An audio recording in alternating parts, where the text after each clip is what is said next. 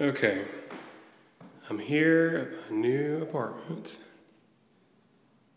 This is the peephole.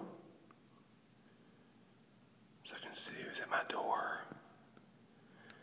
And this is what it's like when you first walk in.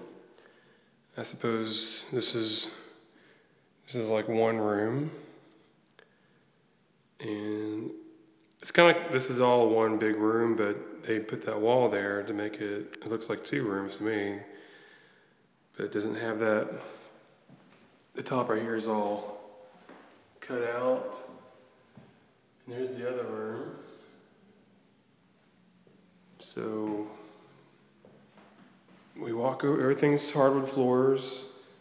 And then this is um, vinyl, vinyl, cheapo vinyl. But um, here is this weird kitchen. So